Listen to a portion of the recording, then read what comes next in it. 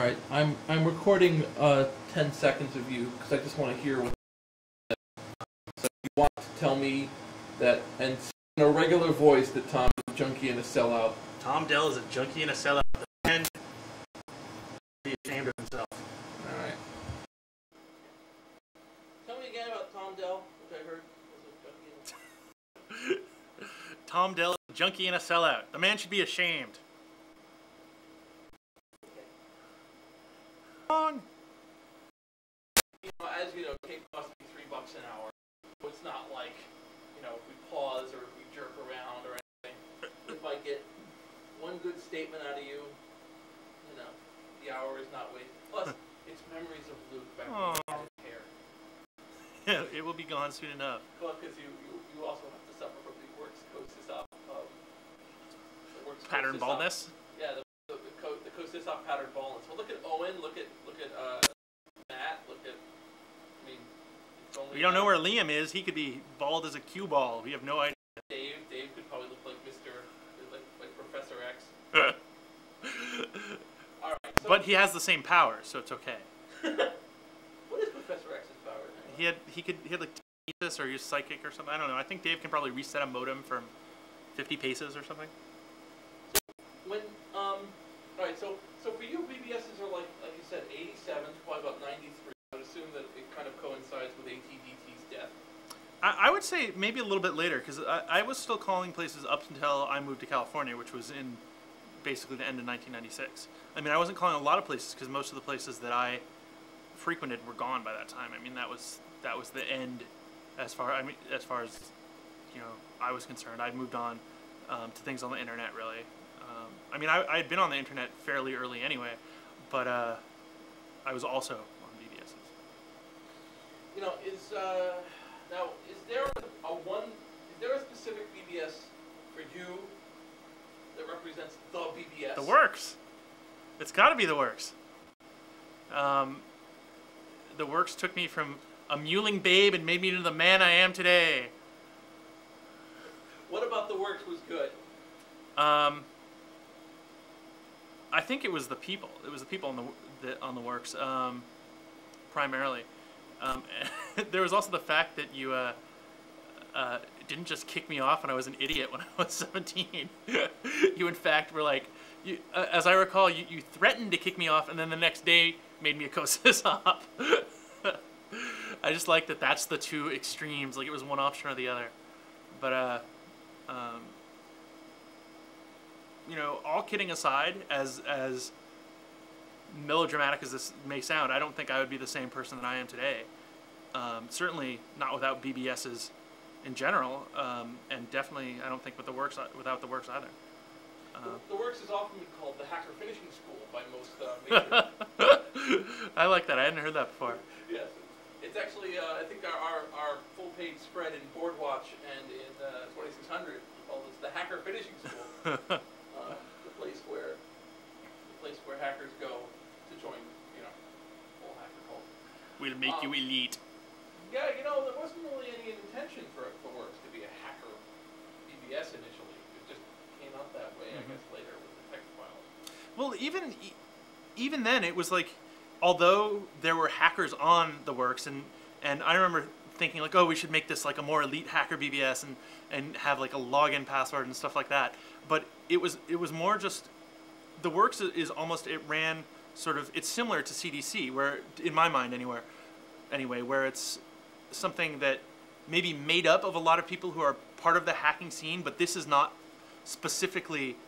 Um, the works was not specifically geared toward that.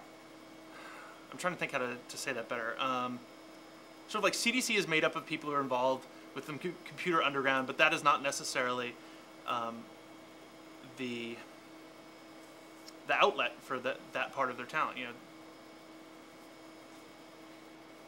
Well, I'm, I'm trying to congeal the, the thought into. I know what I'm saying, but it's hard to express it. one of the episodes is is a, a theoretically a, a one called HPAVC, which is the one on the idea of the underground BBS, and actually may not be as long as I expected it was going to be. Now, what was the V for in that? Virus oh, See, I never I never proved viruses hacking, um, phreaking, virus, air conditioning. Anarchy and carding. See, and the works was also the uh, uh, the uh, the parent of of my own short-lived text file group, Lucipher, L-U-C-I-P-H-E-R, which originally was Legion of United Carders, Iguanas, Phreaks, Hackers, and Erstwhile Revolutionaries, because we couldn't think of anything that I for I to stand for. But then it was Legion of United Carders, International Phreaks, Hackers, and Erstwhile Revolutionaries, um, and produced, I think, five text files before. I think I, I basically joined CDC and threw all my efforts that away. Any thought as to why the need for producing text files on a scheduled basis and releasing them? I don't. For me, it was never a matter of like a scheduled basis. It was just that there was all of this stuff that this creativity that was otherwise going off into the ether and never to be seen of seen again. So there was maybe subconsciously, but there was there was a uh, a need to get thing put things down on the record to to make our mark on the world. I think. I, I think that Swamp Ratte actually talk says something. I, I wish I could, you know, I had the exact quote in front of me, but he says something in, in CDC 200 that's um, rings very true for me. Um, do you have links on any of this? Yes, but I'm not going to have you. Fine. No cheat sheets during the interview. It's not cheating. It's uh, an Source- aid. Source checking. Yeah. Yeah. Oh, you know. Um, well, first of all, um, I discussed 200 with him because 200 is For me is it, it's the epitome of text files for me. To, absolutely. If you had to ask me one text file that would be my all-time favorite, it would be CDC 200. Um, a close second would probably be The Conscience of a Hacker by the Mentor. And those two files really sum up everything that it meant to be a hacker or and someone involved in computers and, and BBSs in the late 80s, early 90s. The, uh, you know, uh, I talked to the mentor a little bit about his file. He said he still gets people contacting him all the time. You know, it's been used. Well, it's just as true now. I mean, it it, it totally has stood up to the the test of time. Everything in that file is is just as applicable now as it was coming uh, close to 20 years ago when he wrote it. He wrote it in what 1986. Yeah. I feel old. Well, you know, I mean, certainly as time goes on and you move away from BBSs, there are certain aspects of them that to this time. You know, there's a there's a strong need by the 1990s for the later text file groups like um, Ho, uh, you know, Hogs of Entropy and Aneda and so on, who are these ones to kind of distinguish themselves by ripping on the old ones. And in fact, one of my favorite um, file is a file this guy wrote um, in which he goes back in time and he has to stop the blade and the battalion from blowing up the world. And he, the like, blade. He, it's, it's basically Back to the Future with text files, and he has to track down the blade. And he's, you know, he's back in '85, and he's going 10 years into the past. I haven't seen that text file, but it sounds like a worthy goal actually. and I gave it to the battalion uh huh. because he mentioned the battalion. The battalion contacted him, and he was. I saw his response to something like, "What's this old fart contacting me?" He didn't actually. The, uh, the, the the blade and the battalion. But anyway. Um. So, let's see. You know, what, so what I meant was, are there other experiences, kind of people or things that really persist now, 15, 18 years later? I don't. I'm not exactly sure you mean. Uh, BBS, BBS events, BBS situations, things. Things that you- still happen. No, things that because when you, all right, you, you serve a certain tour in the army, Mm-hmm. but after a while, the ones that you really remember are like these three or four battles you were in that were really good, Uh-huh. and this place that you visited that was really great. You kind of So, so are there specific events that are? yeah, there are real some real jewels of memory that that persist with you. Well, for me, I mean, I grew up out in the middle of nowhere, basically, and I was specifically the weird kid in my high school. And it wasn't until I started to get involved with BBSs that I realized that there were other people just like me out there, um, and then I you know I started to meet people through that. Um, some of whom are still my good friends today, my best friends today, um, even though you know, the computer aspect is something that is very little, if any, you know, it's not really part of it anymore. Um, just now we're just friends.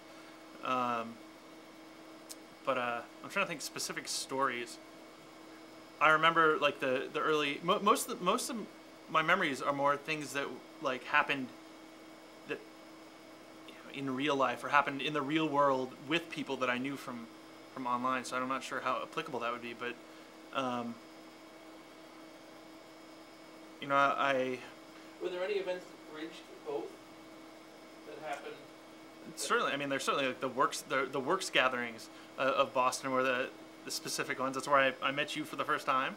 I met um, Iskra and Dave Ferret and all those guys and all the people that I knew on the works. Um, and we just go out and, and do things. Initially, we'd go to your house and watch Amiga demos and listen to mods. Um, and you'd put up with us, like all these, you know, suburban teenagers um, who didn't have the best social skills. um, really, just sort of taking over your apartment for an evening or two. I, I still re- I remember the time that uh, um, my mom demanded to talk to you before the, the first time I was I was going down to Boston to visit you, and she gets off the phone with you and she's like, "Well, your friend Jason sounds like a bullshit artist." I was like, "Yeah, but he's a good guy." Is there a, uh, um, well, one of the, one of the themes that I really have encountered in the 150, 160 interviews is actually this whole concept of the, um, the gathering. Um, I've heard them called BBSQs. I've had them called, you know, uh, get-togethers. Uh, there seems to be a natural outgrowth of a bulletin board system. What's it's certain it's true. I mean, you want to meet the people, meet the face behind the monitor. Uh, you want to meet, get to know the people in the real world that you that you know online. Um, and sometimes it would happen, and you would hate the person. Sometimes you turn out to be great friends. Uh, but uh, for us, it was always a matter of, of getting away from, you know, our little disaffected, you know, the disaffected societies that we were coming from, to get together with people that we liked and and uh, had things in common with, and, and then just doing whatever, be it like go see a movie or go tunneling at MIT, or um, take a bunch of drugs, or what what have you, you know, Um, talk about blowing shit up. the uh, there's an interesting you know phenomenon that you end up being at the center of because right at the end of the real peak of bulletin boards in 92 93 that's when the major media interest comes along in BBSs or in stuff that I was involved with. well both because a lot of the a lot of the um, information centers stuff you were doing was BBSs mm-hmm. And I guess the question I'm asking is, is there anything through, I mean, you've had dozens of media interviews, and, and focusing on the early ones, not the later, you're like the Woody Allen, the early funny ones, instead of the later serious ones. Is there anything that they always missed when they were trying to get the concept of bulletin boards or that thing? Like something that they just would skim over and they never? Well, I- mean, I don't think it's. I think you're making an assumption that they were trying to get get the idea about behind BBSs, and that was not my experience. My experience was that um, each of those interviews that I that I did, especially with television, um, they came with a, a distinct agenda. They came with you know, they wanted, they knew what they wanted to get, and they just wanted to get you to say things so they could edit that or or make it end up with the goal they had in mind all along. Um, so it's it's not really like there was a serious like they were seriously trying to learn about BBSs or seriously trying to learn about what was going on in the, in the hacker underground. They just wanted to know. Uh, they would ask you specific questions geared towards getting an answer that they knew all along they wanted. Was there anything? I'm mostly I'm asking within the theme of getting this answer out of you, which is you know stuff that was back then that you thought was Um. Hmm.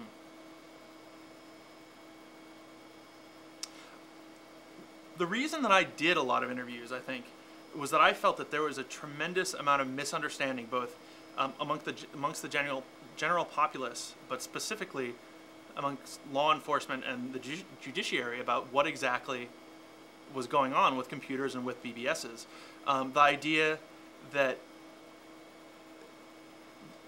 the police or a judge could expect someone to know every everything that was in every text file on his BBS, um, and would hold that person responsible for that, not understanding that that's like expecting a librarian to know every sentence of every book in their library, um, was something that was was fairly mind-boggling to me and was never really. It, it, it, was never really corrected. It just sort of fell by the wayside with the advent of the internet. There's uh, actually. Although it, it hasn't actually. I mean, you, with your judicial, I mean, your your problems with people complaining about files that mention a specific brand of cleanser. I mean, they they still hold people responsible for everything that's in that, even though it's it's legal. It's Well, the interest is, is corporate, and it's not legal. It's trademark dilution, and it's an actual violation of the Lanham Act to say, take this product and use it to commit a crime. That's true. I was thinking more specifically of, of parodies, like the parody exception. But in, in your specific case, no, that that would No, the thing where they say, take this and kill people with it, that's a problem. You know about the mail I sent back to them? Where I said, the fir- I, twice I sent mail to them. Once I said, I have taken all occasion of the word works and replaced it with the word cox. While I'll understand if your client has the trademark on that term too, I will assume for the moment they don't. And then the second one they sent me, I did it again, and I was like, the person mailing me is named Amy, and I see she's doing it, you know, as the secretary of Robin. I can only assume then that Piper Rudnick LLC is composed of beautiful um, lawyer ladies. So that's right. You said the the best the best approach was to hit on the people so serving you. time, next time you mail me, you know, I'll feel a rush of passion uh, before the fear. Anyway, Did you ever hear back from after that? no, it, They were like, they oh. never took my bait, which is really sad because I was, you know, I was in the market for it legally. Anyway, so you can never have too many. They're good loving. Too many. Um. So, you know, is there a um? Okay, well, let me let me get this focused right here properly. Oh, you look like heaven. Yeah. You look like heaven. Um. You know, I should have been more hungover. for me, you know, there are very influential BBSs in my life, and of course, to, to Sherwood's Forest and right, Sherwood Forest and OSUNY and a lot of those, and then, but in my late BBS period, the period just before I drop off completely, the number one influential BBS for me is Argus. Argus. I I don't think was influential for me. It was a major part of my life because it was the first. Uh, or the largest. It wasn't the very first multi-user like chat line BBS that I called, but it was, it was probably the biggest. Um, and this was before IRC. This was, um, it was uh, at the same time that we were using QSD and Lucifer on Telenet, but that was a much more complicated thing, and you weren't talking to people local to you on that. You were talking to people in France and, and all over the world. So if I, I just wanted to talk to people in the Boston area, I would call Argus. Um, as far as other BBSs that were influential for me, the Works would undoubtedly be number one. Um, besides that would be Demon Roach Underground, the head um, CDC board in Lubbock, Texas. Uh, Dark Side of the Moon in Sunnyvale, California. Um,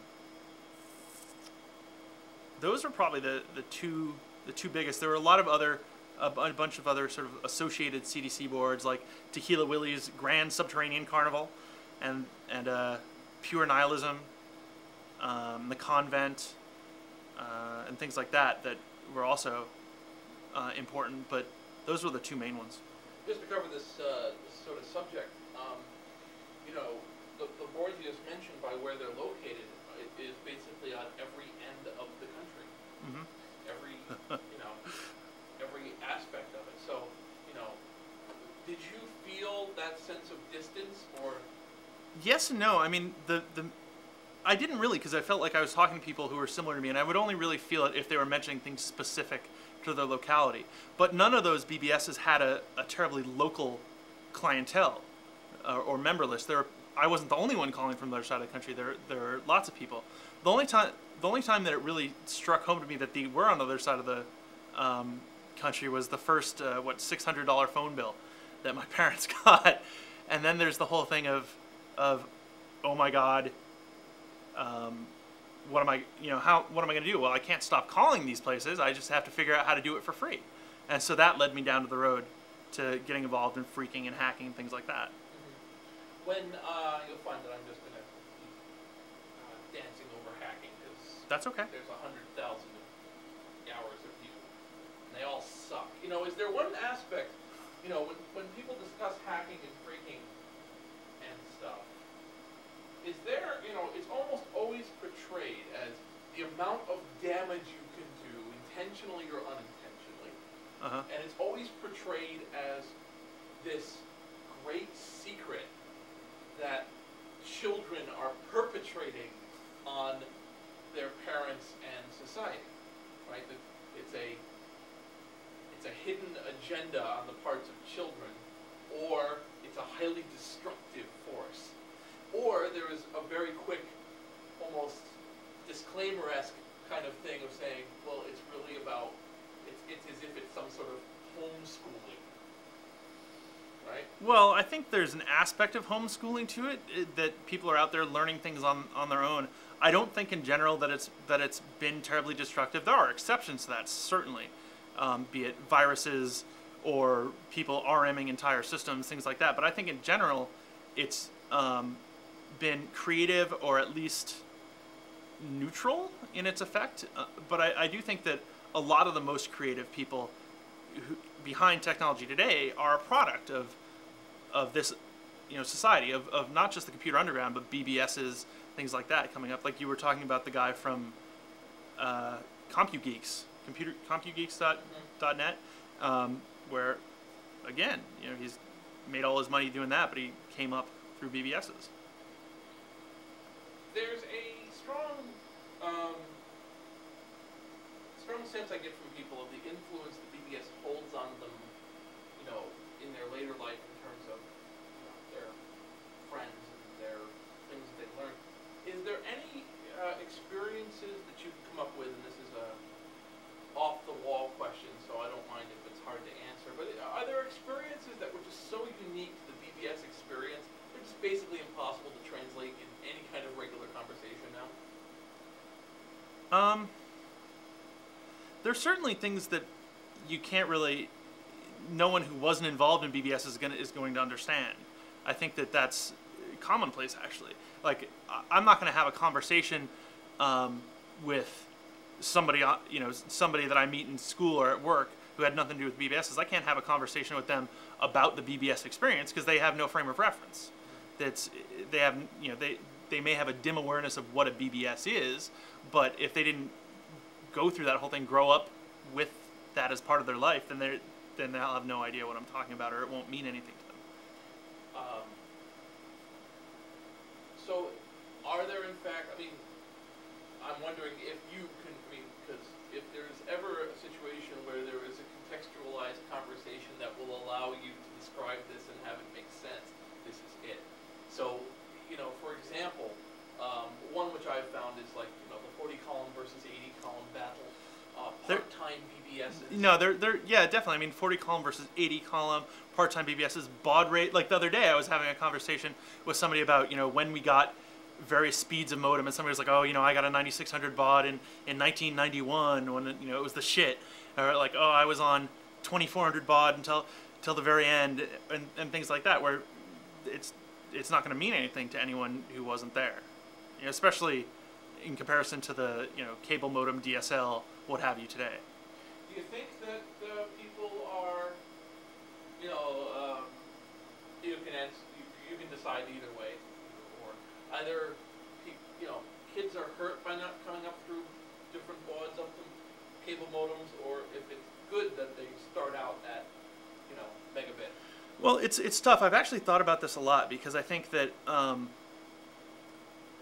my first my first instinct is to say yes, they're hurt by not coming up through that.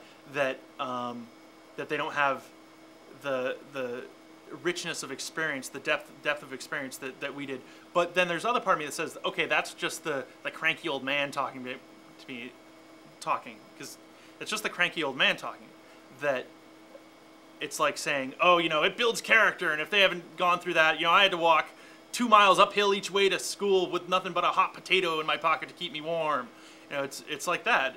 Um, so I, I don't really know if, if there's if there's an answer. I, it's it is something that I, I have thought about and continue to think about, but I don't know if I've come up with a, a definite answer. I think that um, you know I, I wish that I'd had you know megabit connections at the very beginning, but I but I don't wish that I didn't go through the things that I did. I, I don't wish that.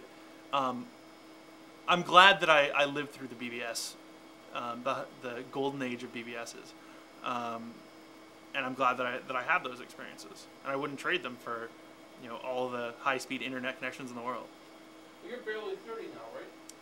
I just turned 30 less than a week ago. Right. So, what's your thought about the fact that you have this subcultural thing you were a part of Mm-hmm. that, as you described it, makes you a burnt out old man at 30? I think it's weird. I think it, I, I think it's very strange. But at the same time, then I think about um, things like, okay, you know, this is the 20th anniversary of CDC. That's you know this this year is. I mean, um, that's really really weird. I wasn't part of it then. You know, I was only 10 years old. But uh, um, it's it's weird to think about that because 20 years is a long time for anything. I mean, unless you're talking about medieval architecture or geology, 20 years is a big chunk of time. It's a generation.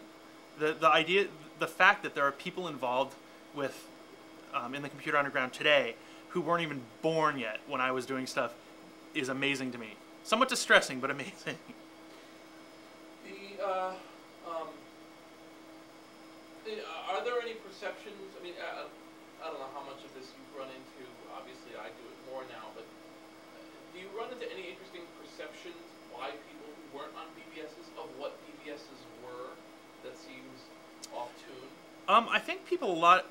I, I've met people who seem to think of them like they were primitive live journals, like some sort of primitive blogs, um, which I don't think is is accurate. I think it might be more to, accurate to say that blogs are are a logical um, evolution of of BBSs, or at least one aspect of them. I've described blogs and live journals as BBSs where the only topic of conversation is the sysop. Yeah. Um, and what the sysop thinks.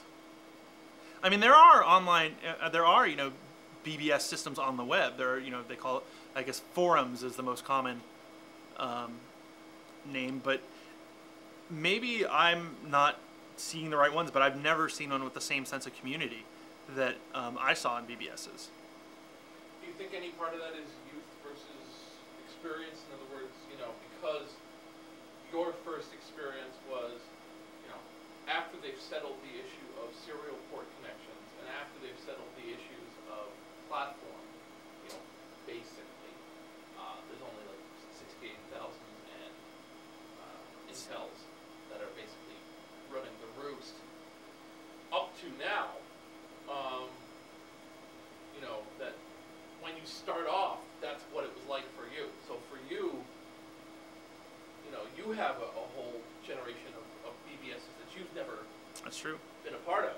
That, um, you know, for them, I'm sure, I mean, my theory would be the guys who started out in the 70s think of the stuff that came out in the late 80s as being, you know, the stuff that just doesn't capture the good feeling back in the old days because you didn't, you know, you soldered everything ever trying to make this thing connect to the phone line long enough.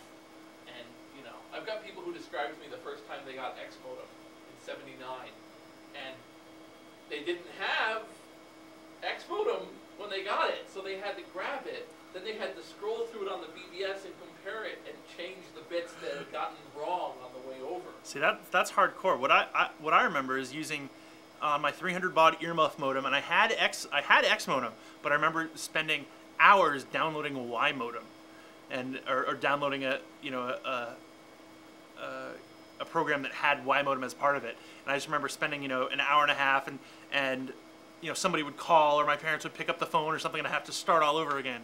And then then Z modem came around and Z modem had you know you could resume and that was that was the best thing ever. I mean that that changed changed everything.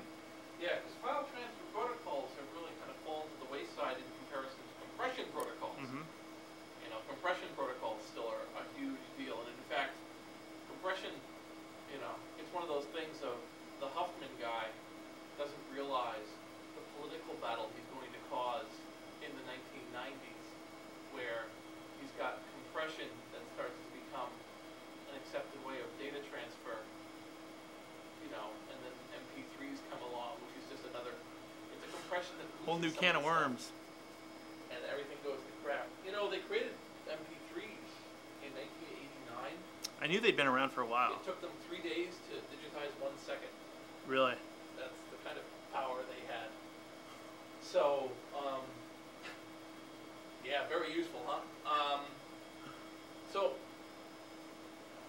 are there are there? That's a boring road. Huh. Well, I don't want to. I'm not going to gut up my precious hour with you with political. Again, it's the issue of, you know, a couple times I've talked to people like Ward Christensen, and I said, "What do you think about this and this?" He said, "I'm uncomfortable when somebody who isn't knowledgeable at all in a field is asked their opinion based on their knowledge in a separate field."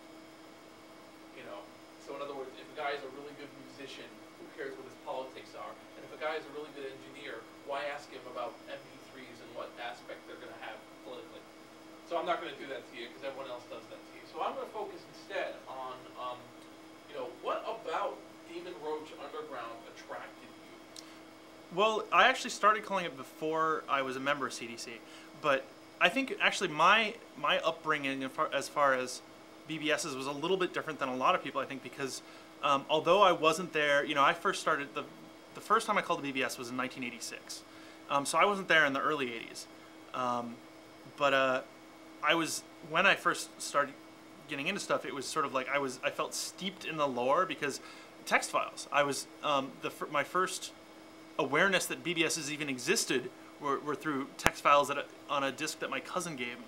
Um, and I remember going through the list of, uh, you know, we had a modem, so using getting the modem and hooked up to the computer, and then going through the list of phone numbers um, at the bottom of this BBS, and none of them were still up. And actually, the first, the first, first BBS I think I ever maybe connected to, or first or second, was probably um, Dark Side of the Moon. And I didn't call it again back for a long time, but it was one of the very first I ever called because it was at the bottom of this list of uh, on a text file, and it just happened to be the one that was still existent.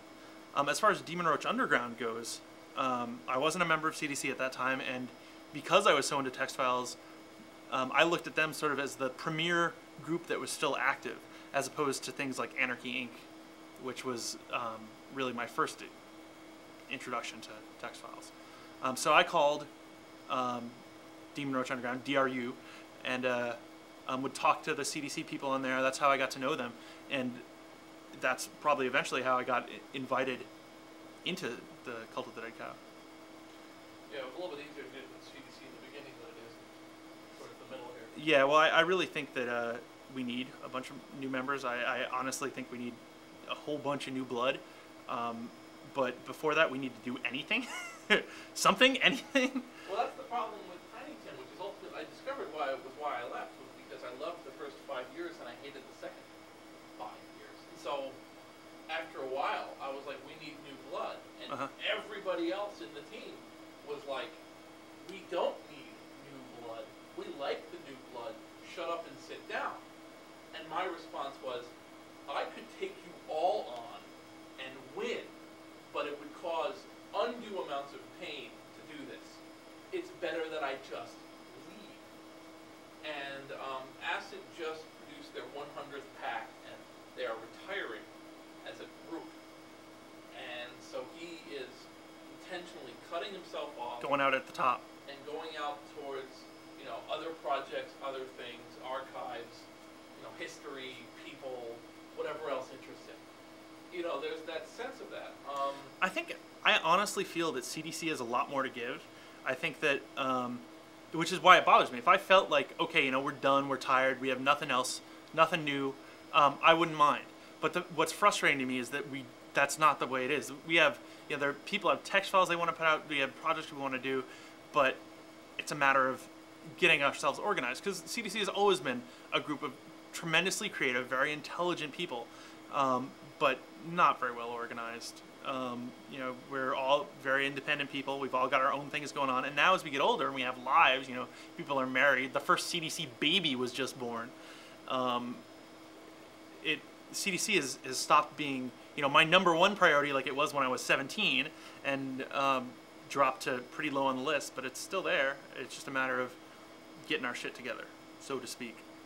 One of the things that really struck me the few times that I've dealt with um, CDC's um, presence at hacker conventions is that there really feels like maybe I'm just my own personal perception because I'm friends, but there be that sense that there are like very few other people get such a rise out of just existing in a place. I mean, Steve Wozniak, um, you know, Emmanuel Goldstein, you know, and, and, and the list gets low, maybe under a dozen people, that their very presence changes the nature of the room. You actually see people shift in the room.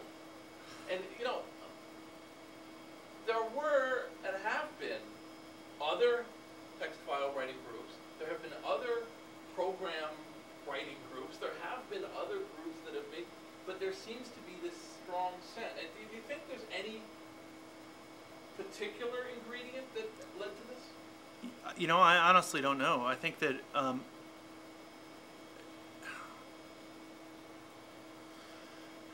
it. You know, I could I could give the the the canned answer, which is just um, you know we are powered by eliteness. CDC is the rock stars of the computer underground, but that really doesn't say anything. I mean, um, I don't know what the answer is. I, I don't know why that is. I think that all I can think of is that maybe CDC represents something that, whereas every other or most other groups, um, say the hacker groups, all they did was technical stuff, and text file groups maybe all they did was release text files, and and so I think CDC is a bridge that isn't that common in a um, the history of, of the computer underground, and that we we weren't all about either. You know, we were a lot of people who who were, you know, very skilled as far as computers or computer hackers or whatever, but but um, CDC wasn't necessarily the venue for that technical side of side of them. But uh, I don't know. It's a mystery. I have theories for my book, but you know, separate, separate, separate conversation, I suppose. Um, you know, was there any BBS you heard about that you had been on?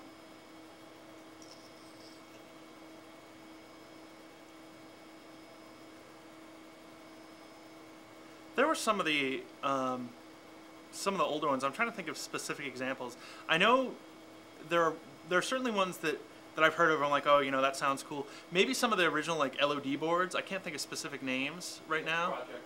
Yeah, the project. Um, you know, I was I came in at the very tail end of the AEs. You know, like Metal AE and things like that. So I was I was on those very briefly. I, I think I'd, I would have liked to have been on seen them in their heyday.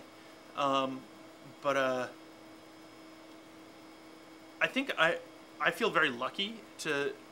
I, I feel like I came in at the beginning of sort of the golden age and went out at the end of it. Maybe um, maybe that's you know I'm colored by my own prejudices and my own um, experiences as far as that goes. Maybe I miss the golden age. It just seems like that to me because because it's when I was there. But uh, um, I do feel that way. Is there um is there a quintessential board in terms of the SysOps attention to his BBS that strikes you? Hmm. I don't know. I mean, the works. Maybe because I mean, the, when I was first on the works, it was the one that you'd written, Ferric BBS. Um, so that's that's pretty personalized. Um, and so when things, if something went wrong or whatever, we talked to you because you wrote it, and you could fix it, or or at least write around it. Um, but it, but I didn't really see that on, on Dark Side so much, even though it was written by by Tom, uh, by Tom Dell, and he ran it. Um, personalized attention.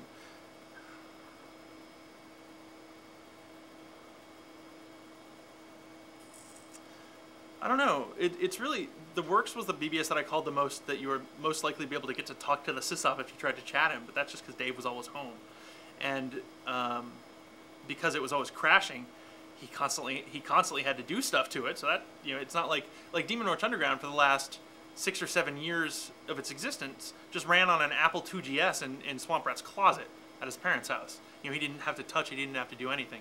Um, the works was a lot more high maintenance than that. It constantly had to be had to be tweaked and, and, and fixed. So that required personal personalized attention. Um, yeah, I don't. I can't think beyond that, like uh, of, of things that had a personalized, personalized touch so much. I mean, there were lots of BBS where the BBSs where the sysop was a, a vibrant part of the you know the community on the BBS who posted and, and and took part in conversations and things like that. And there were lots of BBSs where the sysop was totally hands off and was just like, okay, you know, do whatever you're going to do on my BBS. We just provided it as a sort of public forum. Well, the, the, uh, the, the traverse question then is, you know, is there a BBS that really demonstrated for you exactly how not to be run? Argus. I think Argus, because Argus was very clearly something that was aimed at being um, a commercial. It was, it was obvious from the very beginning that it, that it they plan to develop it into some sort of commercial en- enterprise um, because you, you can't just run a, a 60 line BBS for the hell of it um, unless you're some eccentric rich person or something. Or Andy Rubin? okay. Wait, Um, did spy did spies have 60 lines? Six. Okay, six is different Sorry, than eight. eight. Eight is different than 60 though. Eight lines free, running on a Unix box, 1985. Conversive box, I believe. Anyway, uh, and it was but it was it was the beginning of you know you saw like bbs with like rules of conduct. It was like oh you can't do this you can't do that. And so you know our immediate response as little punk kids was to do everything that they told us not to do. And you know steal people's passwords and and and um, knock people offline and chat and things like that. So your perception is, um, I mean, is it just a clear case that commercialism on a BBS with being a poor BBS? Well, I, I think I, I think so, yeah, because I think it spoils the whole idea of like a community. Like for me, BBSs were communities. They were, um, and once you introduce anything like when it's run by a commercial enterprise, they don't have any interest in. It's not in their. It's not in their interest. They don't get any profit out of, you know, providing a community unless unless they're selling you something or it's supporting something specific that they can sell you you know, nowadays you see forums on like video game websites, and sure there are people there that all know each other and all talk, but it's provided as a forum to su- to support a profit-making enter- enterprise. Yeah, there's a bunch of, uh, I'll show you what, there- there's a couple of BBSs out there, or forums that are out there that are in adverse reaction to the commercial product. Like the Alphaville Times, which is the anti-Sims page where people are on Sims and trying to run whorehouses on the Sims. I've heard of things like that. Yeah. And they're discussing how, like, it's gotten to the point that the Sims Online censors and prevents anyone from saying the word Alphaville Times. Really? Yeah. See, that's not cool. Well, that's because they're pushing they're pushing that kind of limit, which is kind of interesting. I, the closest thing to a traditional BBS that I've seen on web, that I personally have seen on on a in a web format was a um, when I was living on Treasure Island in San Francisco, which is like a, a very sort of like small community, um, and there's a, a forums, you know, web forums site that's very much like a BBS. It's people who live on the island or people who are asking questions about the island. There's no, there's nothing commercial about it. It's it's Um, so when I lived on the island, it was a great resource. Now that I don't, I don't necessarily go there and talk about Treasure Island or anything like that. But uh, when I lived there, it was great, and it was definitely a community thing. You know, people had parties or would invite people to parties on the BBS, etc. Um, now you were never a sysop yourself, right? Never a sysop, was the Co. Um, no, yeah, because because if I was gonna run a BBS, um, it would have had to been one of those, you know, like, you know, we're up from three in the afternoon when Weez gets home to five in the afternoon when Moms gets home, um, because I didn't have the money for my own phone line. I didn't have a job. Um, it wasn't until after I'd already, you know, after I was like 18 or 19 and, and well out of my parents' house that I, I had the possibility of running a BBS. And at that time, I didn't feel the need to. It was it was like uh, there were good BBSs out there. People, other people were doing it. I didn't need to, to do that. I could I could be a co-sysop and have all the power with none of the responsibility. Admin D is your friend. there's a, you know, I mean, um, as, as you've mentioned, Tewksbury is a dismal place. Is there some? Boy howdy. Is there some? Uh, I mean, If I'd grown up in Allston or something, I don't think I would have needed to turn to that to BBSs as a an outlet, probably. So look, maybe it's a good thing. It's a it's a positive thing about growing up in Tewksbury. Who knew it? yeah, just like you grow up waist deep in water, you're gonna learn how to swim. So Yeah. great, works for you. And Uh, why are people always drowning in Burma? Riddle me that, man. Cowman. Riddle me that. That's it. I'll use that somewhere. Riddle me that. Um, is now. Is there any aspect or event or thing associated with BBS that you really want people to know about? Is there anything that's like just Text files. Absolutely. Um, I know it's a passion of yours, but I think that it's such such an important thing, and uh, you know, to I think it's textfiles.com is an incredibly important thing. I'm very glad that you've done it because nobody else was doing it. You know, there were there were CDs of, of text files and collections and stuff, but nobody made a concerted effort to collect everything. And I think that text files are the permanent record of that time. It's you know it's it's the the Dead Sea Scrolls of of my youth. Is there any kind of um, person that you met or knew primarily through the BBS that had a huge effect on you? No, there was a lot. There are a lot of people. I mean, there's you. there's lots. There's um, Swamp Ratte. Uh, a lot of the CDC people. Um, Tom Dell, who I didn't meet until at, you know a decade after I, he had a big effect on me. Um, too many to count. Certainly, there are lots of people who shaped um, my upbringing and shaped the person that I am today. That's the question. So where the fuck is archaeology? That's separate. That's, that. That was actually one specific bomb hit yeah. in 1998, and it was particularly strong Candidate seed, and it turned me into an archaeologist. it's amazing because the guy next to me, He's a botanist now. It's crazy. yeah, he thinks he's a botanist now. He actually thinks he's a bush. Um, shrub actually. No, it's actually it's interesting. I think my I've always been tr- interested in archaeology things like that, but my going into it like looking into going into it as a career is more a response to you know I sp- I've spent the last ten years doing computer security and computer work, um, and I don't want to do that as a job. I'm fine doing that as a hobby, but I don't want that to be my job. Um, it makes it less fun. It I don't I don't want to do my hobby as my job. Really, it's once you once it becomes a, a business, once it's the way that you make your living, it's it stops being fun and becomes a responsibility. That's the reason that CDC has never and would never become a company, and that's why I think that the L0pht guys, from the very beginning, I said they they were crazy to to um, become a you know to become a company, and I think that the results of that have borne out my skepticism in that you know it dissolved. No, it didn't dissolve. It really exploded pretty spectacularly. Um, you know, some of them still have jobs there, and I'm I I I bet they're happy. I bet they're I assume they're happy. They're the ones that still have jobs there, but the community, the the the organization that was the L0pht, it, it killed it. And I think that that's that's terrible because th- those people could be making just as much money off in different companies. Well, the other They had to sell out their friendships. chapter 22 of my book, but the uh, you know one of the side effects is not just that the that the coalition, as it was so named, was blown apart, but that half of them are at each other's throats now. Literally, would not be willing to be in the same room. No, it's re- and it's really sad. I, I, you know, I ran across that recently when um, we were ha- my birthday party at at uh, at Golgo's house, and uh, I invited Mudge, and Mudge was like, you know, I really want to see you, but I can't. I'm not. I'm not. I don't want to see you in that that venue. So you know, I, I still have to. I, I'm planning on hanging out with him when I come back from from England. But uh, um, I was like, okay, you know, I can respect that. It makes me sad.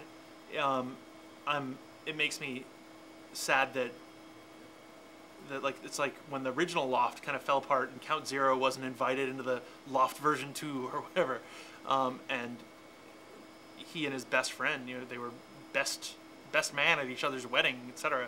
And they had a falling out. Now you know they're sort of, you know, they've there's been a reconciliation to some extent, but see, it, it all goes bad when you when you introduce money, introduce business. Uh, like going with that.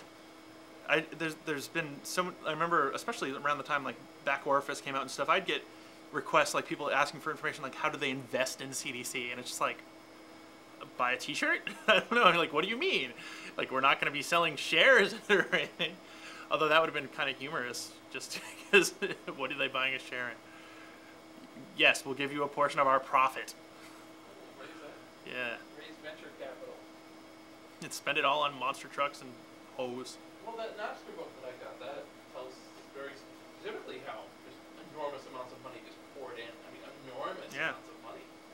Um, it- But it just again, it destroyed the friendships of the people who built Napster. I mean, Jordan Ritter and, and Shawn Fanning don't like each other anymore. You know, it, they uh, and it's as as hackneyed and trite as it may sound. I think that um, money is corrupting influence in every in, without exception every single case when i've seen groups of my friends go and, and start a business or or turn you know their hobby into a business it has ended with bad blood between people. Um, and that's not to say that they would have been you know special friends forever otherwise anyway but um, it probably wouldn't have been as spectacular. Um, you know, the, the early um, cons, and by this I'm talking about the actual cons, where they were actual, basically, drinking parties. There's a period of time, like 89 through 92, when it's a lot of the figures and people of. the i'd say late 94 Huh? 90, 94 94? That was the, the last HoHoCon. I think was the um, the last HoHoCon, and to some extent the first Hope, which was what ninety five. Yeah, that was really the last time a lot of these people came out and, and we saw people. I mean, um, Taran King, Knight Lightning, um, you know, just just all the people from who were the, the big names from the from the early and mid '80s. Kind of once once cons sort of became more commercialized or more sensationalized, they didn't have any interest in that. They just wanted to go and drink with their friends and hang out with their friends. Right. And the other thing is that there's a lot more. I mean, I, I find out about people who were like, there's a shot in the Napster book of Minus and Ritter and a couple others hanging out at DEF CON in '99. I was there. Mm-hmm. I never knew of them, saw them, met them, nothing. Well, it's too big. I mean, And that's the problem. I just remember SummerCon. You know, when when you had a small thing, the first like the first con I went to was in, what SummerCon in 1993. Um, and that was just you know at, at a motel in St. Louis. It wasn't like you know it was just it wasn't we didn't have a conference room. We didn't have anything like that. Um, and then HoHoCon in '93 was the first one that I, I personally went to that that was a you know had a conference room and and um, people were giving talks and and uh, um, actually trying you know some semblance of, of a a formalized transference of knowledge. Before that, there was pl- you know we were transferring knowledge, but it was like at a bar or well, not when I was that age, but you know in a, in a in a hotel room over beers. Um, it wasn't so formalized. That's where your blood alcohol. Yeah, exactly. Um, and I, I think actually still at cons, that's where the, the majority of um, learning goes on is in a private setting, not you know in, in a room with a thousand other um, kids who it's their first time away from mom. Um, do you have a specific memory of Phrack magazine? A specific, like something specific to talk about. Yeah, something specific Um, at the beginning when you first ran into it, one of the first magazines. It was it was one of the the text files on. It was actually, or at least part of a, a Phrack issue. I don't remember which. Maybe Phrack number eight was on like those first discs of text files I got from my cousin, and I was like, whoa, you know, that was my first introduction that you know that this that this world of of you know hacking and phreaking even existed. You know, I had no idea before that. I you know I I knew about I think war I, I think I'd seen war games, but that that wasn't any more real to me than you know Tron. You know, it was um, so to find out that there were actually people doing stuff like this was uh, I mean not taking over nuclear missile launch computers, but that there were actually people doing computer hacking and stuff like that was amazing to me, and it was it was great because I was what 12 years old. That's a, that's a pretty big uh, world to open up to a kid. Um, yeah, as we start to round towards the end of this tape, um, is there anything definitely wanted to get on tape relevant to BBSs that um, you think you think belongs there? I don't know. I think that I I hope that you've talked to people um, that just because you run textfiles.com, I hope that you haven't neglected to to talk to people about text files, and because I think that at least to me that's the the most important um, and the most what you say not the most important and most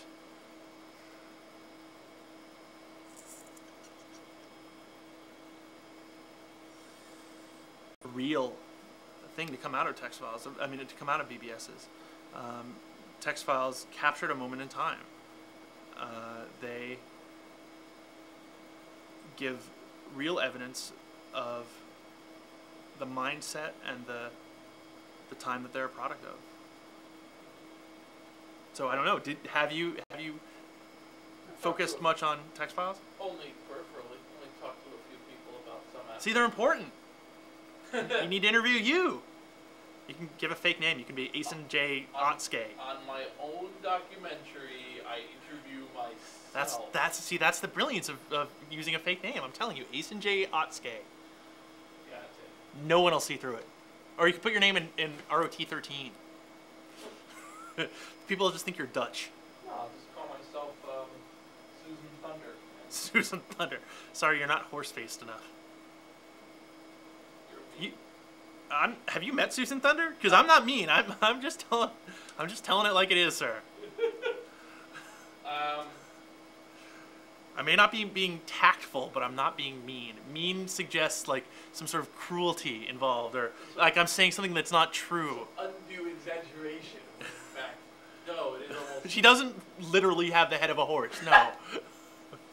Um, as long as we have that clear on tape, okay. I want to make it clear that when I call her a horse face, She does not literally have a horse's head. but To my knowledge, I mean. Right, to my knowledge. But however, I do want to say, Winnie. Um, um, all right. So, um, Six foot four, horse hate faced, former hooker. That's a great combination. Hoeing for wares. For wares. Where's? That's There you go. That's a great handle. Um, That's that's something that's interesting about BBS is have you talked to people about handles? Because I think that's um, something that's interesting because BBSs were to some extent anonymous, at least if they you wanted to be. You hear the whole thing like, oh, on the internet, no one knows that you're a dog type thing. But the the same thing is true on BBSs. You could represent yourself as whatever you wanted to, and unless you were actually going to go out and meet these people, they had no way of knowing. They didn't, they didn't know who you were. They didn't know you from Adam. Um, so handles, I think, were a logical evolution. I mean, the, the term handles even even comes from what CBs and ham radios. I would imagine. I don't know for a fact, but that's what I would think it would be. The They come from there, but that even precedes precedes CBs and stuff. CBs. Yeah. What does it come from originally? Don't know. I, I've heard it before the before then. Um, What's your Yeah. handle, good buddy? oh, Um, okay. Well, I think we have it pretty much nailed. Anything else? Luke? I got nothing. Okay. Perfectly fine. All right. Let me get back to shop. This is Luke. He's my best friend right now. My hands are cold. My hands are cold. Oh yeah. That's why I love having the computers in the basement. They keep it from totally freezing. Well, because I don't have to worry about cooling them. That's true.